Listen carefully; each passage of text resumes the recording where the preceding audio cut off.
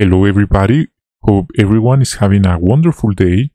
In this video, we're gonna be considering some of the spiritual gems for the week of December 4 to 10, 2023. And for this week's Bible reading, we have some very encouraging and instructive lessons for this week's Bible reading. Job's 22 to 24, three chapters. And now let's jump right in. The first one comes from Job 23:13. Let's take a look of the scripture. It says, "When he's determined, who can resist him? When he wants to do something, he does it." So the question, how can Jehovah's example help us to reach spiritual goals? And the thing is, he when he wants to do something, he does it. For our goals to become a reality, we must have a strong desire to achieve them. Even while the earth was formless and waste, Jehovah could foresee the end result, a beautiful jewel in space, beautiful garden, bringing him glory and honor. Similarly, if we could visualize the result, we are reaching our goals. That's the key. What we set out to do can be cultivated by meditating on the results and benefits of achieving the goal. So, visualize our goals, put them in writing, in paper, review them, and strive to achieve them with Jehovah's help. So, that's it for the first one. Now let's move on to the second one. What spiritual gems from this week's Bible reading would you like to share regarding Jehovah, the field ministry, or something else? Number one, and I want to say, friends, I'll, I'll be reading partially the scripture and then the comment in the screen. So just this quick observation and now Job 22 1 to 3 says Eliphaz can a man be used be of use to God and anyone with insight be of benefit to him? Does the almighty care that you are righteous or does he gain anything because you follow the course of integrity so this teaches how important it's to be careful of diabolical liars around us. For example, Eliphaz is saying that God doesn't care about us and he doesn't care if we are faithful or not. If this were true, God wouldn't have sent his beloved Son to save us from sin and death. And of course, there are many other scriptures to revoke this diabolical lie. Number two, Job 22 2, it says, Can a man be of use to God? Can anyone insight be of benefit to him? So, sometimes advancing age and health problems put limitation on us. The share we have in kingdom service may seem quite small in comparison with what we did when we were younger, healthier, and stronger.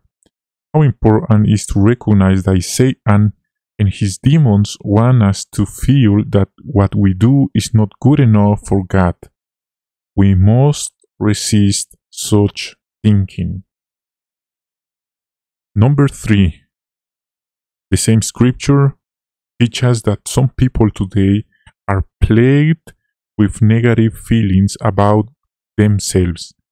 Such factors as family upbringing, exposure to pressures of life, or being victims of racial or ethnic hatred may have contributed to this. But Satan and his demons also take delight in crushing a person if they can influence an individual to feel that nothing he does is good enough for the Almighty God, is more vulnerable to despondency. In time, such a person could drift away, even draw away from the living God. Number 4. Job 22 23. This scripture says about if you return the Almighty, you will be restored if you remove unrighteousness from your tent. So, Jehovah considers acts of loyal love expressed toward his servants as being rendered to him personally. The one showing favor to the lowly is lending to Jehovah, and he'll repay him for what he does, says Proverbs 19:17. Jehovah is taking note of every act of kindness performed in behalf of lowly ones. The creator of the universe considers himself to be indebted to mere humans who perform deeds of mercy and that he views such giving as loans he repays with favor and blessings. Number 5 Job 22 7 and 9 says, Let's take a look of this scripture. You don't give the tired one a drink of water, and you hold back food from the hungry. 9. But you send away widows empty handed, and you crush the arms of fatherless children. So these verses can help us examine ourselves in terms of how we see, how we view material things. For example, we could ask ourselves the following questions. Is it difficult for me to be generous? Am I a stingy person? No doubt our response will reveal the kind of person we really are. Number 6. Job 22 21. It says, Get to know him and you'll be at peace. Then good things will come your way. So, this teaches how important it is to study the Bible and practice what we learn. The words of Eliphaz, though spoken under a misunderstanding of Job's case and misdirected toward Job, were good in themselves. This 20th century world, or the current world, fails to recognize that men cannot have peace among themselves and enjoy prosperity until first they get acquainted with God and become familiar with His will and come into peaceful relationship with Him in His way. Number 7. Job 22 22 says, Accept the law from his mouth and keep his sayings in your heart. This reminds us that many people have the Bible installed on their electronic devices, electronic devices, others in their phone, others in their bookshelf, others under their arm every Sunday they went to they go to church, others in their minds like an atheist person. But the thing is few people have the Bible in their hearts. And that should be our goal, not just in our phone, in our bookshelf, in our arm, in our bag, or in our hearts. Okay. Number 8. Job 23 3 to 5. These verses say, If only I knew where to find God, I'll go to his place of dwelling. I would present my case before him, and I fill my mouth with arguments. I could learn how he could answer me and take note of what he says to me. So these scriptures, these verses can help us to have a good conversation with a reasonable person. There are some people who have been very affected by seeing all the suffering that exists in the world and have felt the same as Job. The same questions, like we read in these verses.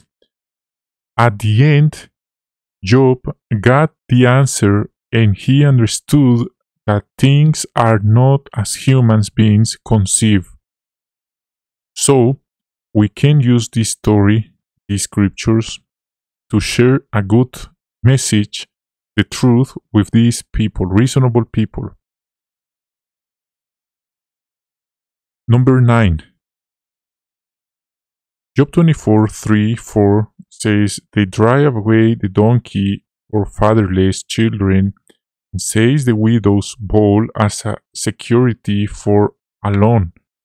They force the poor off the road, the helpless of the earth must hide from them.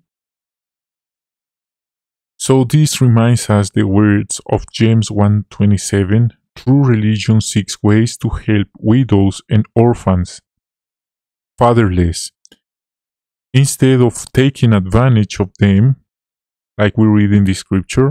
And there is no doubt Jehovah is pleased with our support in preaching, meetings, but we don't forget every time we help a person, someone in need, like a widow or an orphan.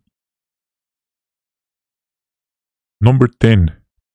Job 24:15 reminds us that Jehovah is watching us. Let's take a look of this scripture. And it says, The eye of the adulterer waits for twilight, saying, No one will see me, and he covers his face. So, that's a lie. Always is someone watching us.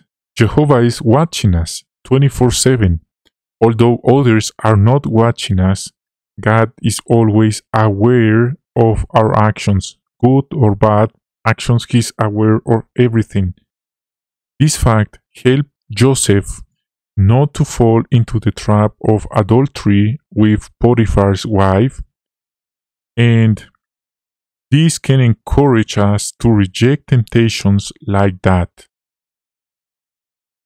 So, friends, that's it very encouraging spiritual gems we find in this week's Bible reading. So thanks for watching. Thanks for your patience with my English. And if you like this video, please consider subscribe to our channel and share this video and hope to see you next time. Be safe and see you all.